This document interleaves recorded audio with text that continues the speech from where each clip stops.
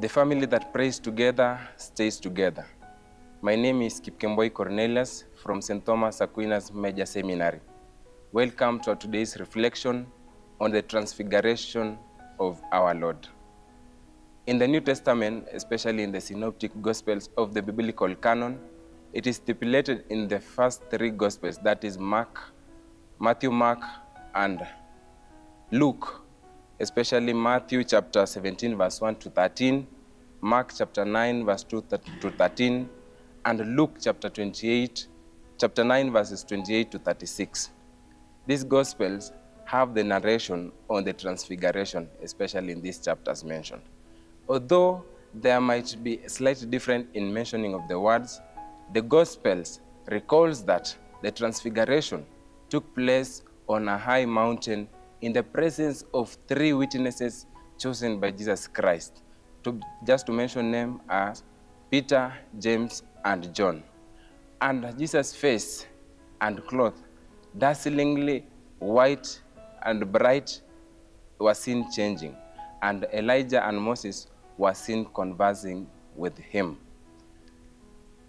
Then a cloud hovered around, and the witnesses heard a voice from heaven saying, This is my son, my chosen one. Listen to him. We can only imagine the beauty that was on the site to the extent that Peter proposed that they remain there because it was so beautiful. There was so brightness that even me and you, we can just imagine. And so Peter pro proposes that they remained there, but we must not forget what the exchange between Jesus and uh, Elijah and Moses, who represent law and prophecy. The Catechism of the Catholic Church teaches us that the appearance or this event was meant to strengthen the faith of the apostles in the anticipation of passion. The ascent to the high mountain prepares for the ascent to Calvary. By allowing Peter, James, and John to behold this transfigured body, Jesus prepares them to see his death not as an humiliating end of his life, but as a manifestation of the divine glory. The wounded body will be glorified.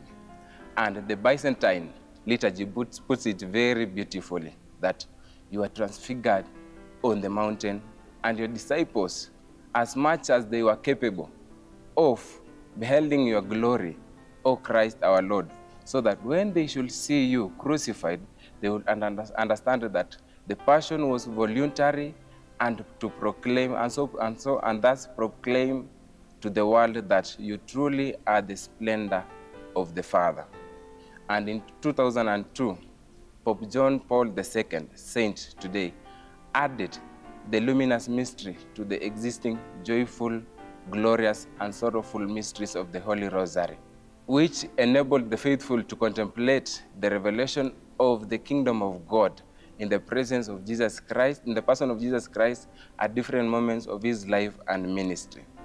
He wrote that the mystery of light par excellence is the transfiguration traditionally believed to have taken place on Mount Tabor, where the glory of God's head shines forth from the face of Christ the Father, commanding the astonished apostle to listen to him and to prepare to experience with him the agony of the passion so as to come with him to the joy of resurrection, a life transfigured by the Holy Spirit. Dear people of God, the transfiguration is not just of the past. It reminds all of us that there is glory in doing the will of the Father. Even if it entails suffering, in the end, His light will illumine the world. So, as we commemorate this event, let us come into our mind that although there might be suffering that we are undergoing, although there might be eh, humiliation in our lives that we may be undergoing, let us remember that in the end, there will be light, just as Jesus Christ was seen appearing, dazzling, and changing his clothes and face into a dazzling white, even to us, as we undergo this humiliation and suffering, there will be the light in our future. The family that prays together stays together.